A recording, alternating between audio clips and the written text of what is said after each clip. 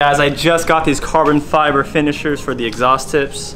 Look at these carbon fiber weaves. You know, go zoom in, zoom in with the the lens. Mmm. So the weaves are actually really nice. This is super light as far as rigidity.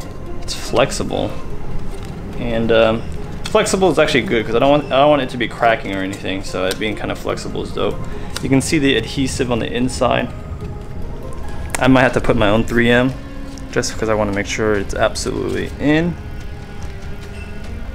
But we'll actually I'll just leave it on. I'm just gonna I'm gonna send it like this. The reason why I'll come closer is with like a setup like this. Um, you can see my Varis diffuser carbon fibered out, carbon fibered out. This part is not carbon fibered out. And I just want to complete the look. To install, it's actually really easy. This is some just some multi multi-purpose cleaner. And you just want to wipe the area where you're going to apply the adhesive because of course if you're going to apply it to super dusty, dirty, it's not going to adhere well. So you just want to make sure the exhaust tips. So I usually swipe it with the wet side and then the dry side of the towel. Let that dry a little bit. Same with here.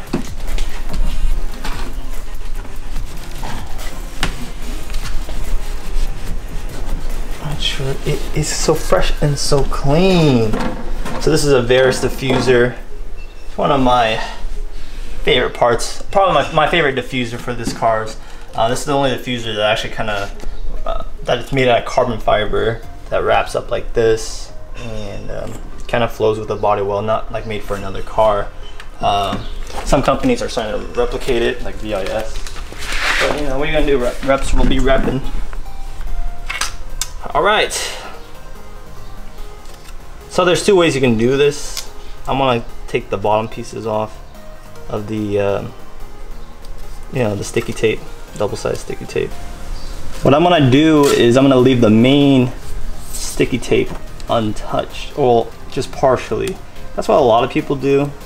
It just helps with the fitment. So what I mean by that is you kind of go like this, and then you kind of leave it hanging like this.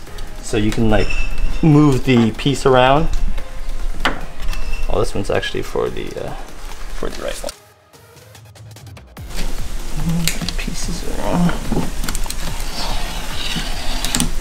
But because this is actually pretty easy, I recommend just taking all out. Yeah, and that way you can just squeeze it in. For uh, double-sided adhesive tape, you want to hold it down for at least 15 seconds.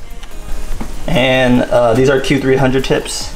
Plenty of clearance. It actually doesn't add any kind of additional, like maybe like a micrometer, but it doesn't really add any clearance issues on these exhaust tips. As far as, uh, if you want to show them right here, like right here with the, these are JDM splash guards, plenty of clearance right here. So uh, I know the APR ones are a little bit bigger and a lot thicker. You're gonna have issues running into this, but for our, the reason why I got this is because if it's nice and good. And you just repeat the step on the other side. All right, there you go. Nice tips. Look at it. Mm.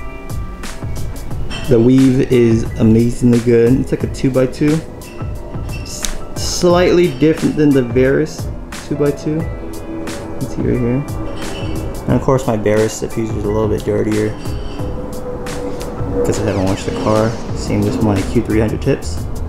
But once everything's gonna be washed, it's gonna look great. Same goes with this one. The fitment is amazingly good, for, especially for the fit don't really expect that. But yeah, links below on where you can get something like this. Subispeed sells it for um, a lot more, I believe. So check out the link I'm about to provide for um, a better price. See, that's kind of like the look I wanted. I know my diffuser is not very clean right now. It's kind of more of a faded white color, but it gives it that finished look. Yep, peace out.